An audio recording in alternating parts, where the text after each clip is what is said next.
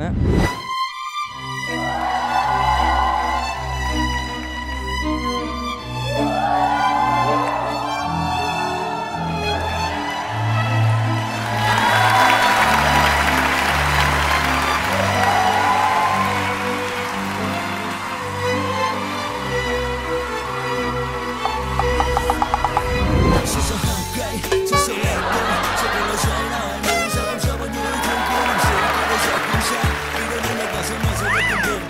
Nghĩ bạn này hát không hay em nghĩ bạn này hát không hay Đấy, thấy không? thấy chưa? Tôi không lắm. Yeah Yeah.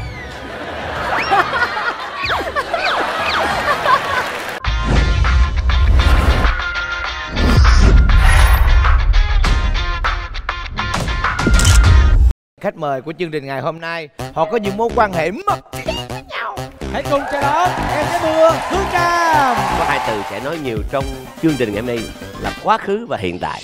Bùi anh tuấn thường á thường thì khách mời mà đẹp đẹp hay ôm nhau lắm hai đứa có muốn không? À, ôm thì che mặt anh sao? Không có kệ anh chấp nhận anh bị che. Đó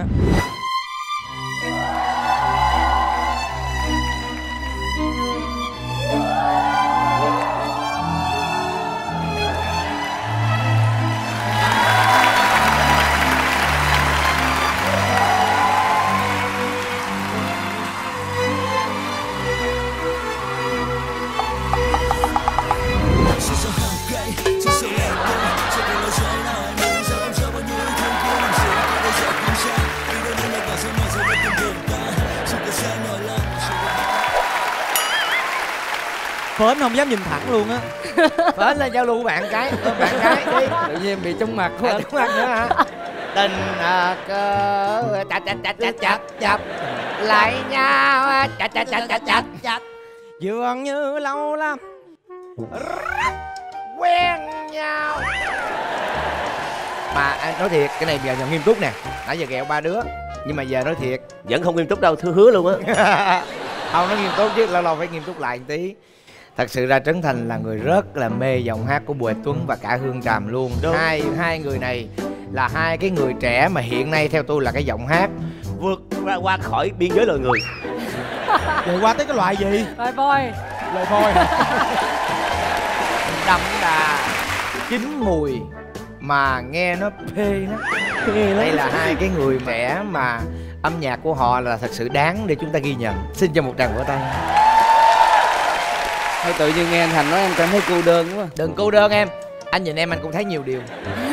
Anh thấy rằng là em cô đơn là đúng hai bạn đã từng đến với dòng ái dòng ai của mùa đầu tiên rồi. Lần này là chúng ta quay trở lại thôi có lẽ cũng không có phải là quá lạ lẫm với cái không khí này đúng không? Với những cái con người đang ngồi ở đây đặc biệt là hai công chủ nhà trường giang và trấn thành phong tuấn. Dạ. Ừ, cảm xúc của em sao? Em cảm thấy một chút lo lắng. Em không biết là cái gì nó sẽ chờ đợi mình sắp tới. Vẫn còn lo hả? Anh tưởng em phải có kinh nghiệm hơn rồi chứ sau một khoảng thời gian mình phải có nhiều cái kỹ năng kỹ xảo nanh vuốt này kia của mình chứ. Không em bị đưa vào thế chắc lần này lần thứ hai thứ ba rồi tụi anh cũng chỉ là những người làm thuê làm mướn.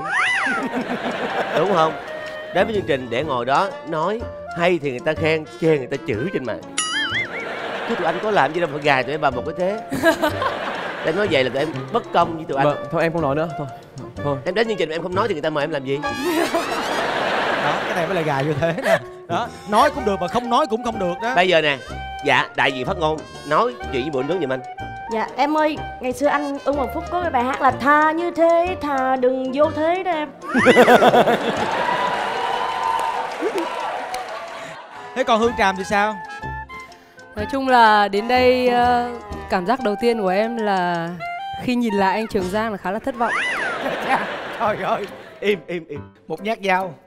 Khi mà năm ngoái bằng tất cả tình cảm của mình, bằng tất cả những tình cảm của người em với người anh thân thiết, em đã dành niềm tin cho anh ấy, về cùng với đội anh ấy. Nhưng cuối cùng thì không ai dành cho em niềm tin, anh có nhớ không? nhớ em. Nên năm nay em đã đưa ra một quyết định. sao? Khoan trước khi quyết định anh xin nói trong một chương trình khác. Tôi gọi điện trước khi chương trình bắt đầu. Tràm hả? Anh giang nè anh có một việc nhờ em. Lát nữa khi anh gọi điện thoại cho em lúc đó đang đang đang đang ghi hình thì em sẽ trả lời abc cho anh nhé. Ok anh em vẫn ở đây chờ anh đấy. Alo hương tràm hả em? Dạ không em trợ lý có chị tràm đâu? Chị tràm đi ngủ rồi. Trời ơi, lúc đấy tôi đang hát, trời ơi. tại sao lại đối xử với anh như vậy? Đúng rồi, hồi xưa em đi quay MV với Tràm á, em cũng điện mà ít gặp Tràm lắm, Tràm đi hát nhiều. mv gì? Em ghé mưa. À là từ đó. Nói chi rồi vô thế nữa. Ngồi yên cho đẹp hình là được rồi nó phớn nói là thà như thế thà đừng vô thế mà vô hoài. Giờ các uh, chủ nhà muốn mời vị khách nào về với gia đình mình đây? Ê, ê, ê, ê, cho xin, xin, xin nói một điều nha. Xin nói một điều. Đối với đội Trường Giang Ai về cũng được. Nhưng mà đối với đội Tân Thành Ai về cũng vô thế. Đúng không? Đúng không? Vậy đúng vậy. Đúng Không em, em chọn trước Em là phải đổi tuồng rồi đó. Em không có dùng tuồng cũ nữa. Năm nay em chọn anh Trấn Thành. Welcome em. Mời hương tràm Ê, để em để em ăn cái gì vậy? Mời bùi anh tuấn. Gentleman gentleman tuyệt vời. Đàn ông như thế. Mà mà. Mày giận ai mà giận bóp tay anh làm gì đau vậy?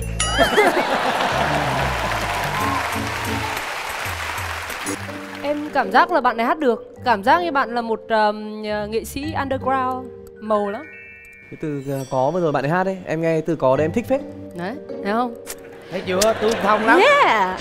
Yeah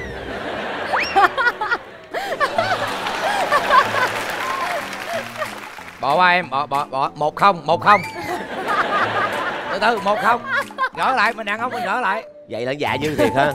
Thiệt em thấy em quan mang quá à. thiệt không biết lát hồi ôm tiền hay ôm đầu máu gì. Em đâu có ăn nhậu gì trong cái cuộc tình này đâu. Tự nhiên lâu em vô đây chi vậy? Dạ em giống như là thư ký trường quay vậy đó. Dạ. Đấy, nói gì cho sâu sắc gỡ lên một đề mà anh coi. Vô. Em thấy bạn này hát ờ, cái kiểu bạn em nghĩ chắc bạn hát không không hay đâu. Tại sao? Tại thấy cái nhép của bạn với cái cái ở đây nè nó ngân ra kiểu như là nó chưa có rõ thêm cái gì lên trên em? Cái gì lên trên? Cái cái này cổ của bạn hả? ờ đúng rồi. Bởi vậy phết nó làm diễn viên là đúng rồi. Dạ đúng rồi. Bên ca sĩ ta nhìn giận giống nhau chứ mình ông nhìn giận trái mà ông đồ gỡ một đều không biết gỡ làm sao được. Vậy thì anh xin tuyên bố hai không. Không sao không sao. Chưa chung kết chưa chung kết xử lý em đó em là em nói nó hát được đó mà em cố tình em nói không hát không được đó, ừ kiểu đó là là, là phải đỏ ra sân luôn nha em. Đó em, em phải chặt lại Dạ. tiếng đó mà em chết luôn. Ba không. Chi vậy biết ba cái liền. Đồng ý là đang hoang mang vô định về về cái câu mà mình hát. Bình thường người nghệ sĩ mà hát phải chọn đúng một câu Mình rất là quen rồi mới dám hát cho người ta quay. Theo cái kinh nghiệm mà không biết hát của em thì em nghĩ bạn này hát không hay. Nó bắt đầu vô vấn đề lại rồi đó em thấy nó bắt đầu vô lại mặc dù chưa gỡ được cái gì hết. vô được tới cái mé sân thôi. Dạ. Chưa đâu nè. Nói về chuyên môn cho anh nghe. Nè coi nè em coi nè em coi người ta nè. Em nghĩ là hát hay. Hát hay.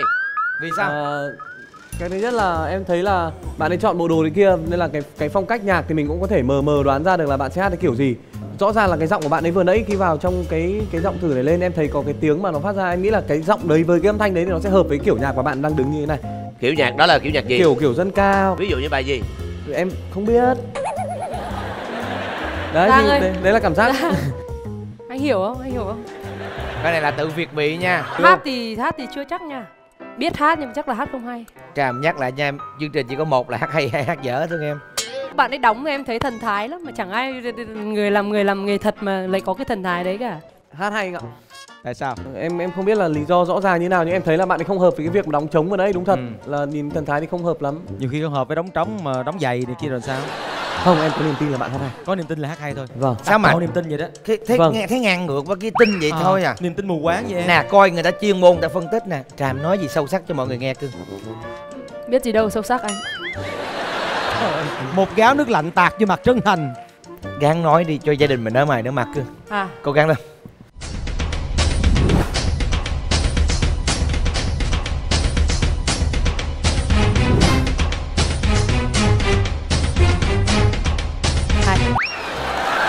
cũng không hơn được bao nhiêu hết. Thôi, anh, nãy em thừa thắng rồi. Giờ xong lên nói một cái gì đó thiệt sâu sắc. Để Nào hai bốn. Cố lên anh.